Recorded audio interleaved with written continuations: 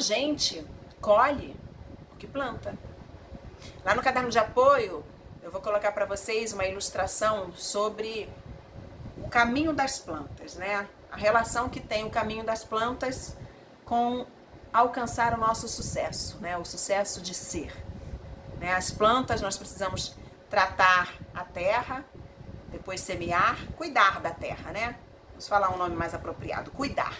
Tratar, não, cuidar.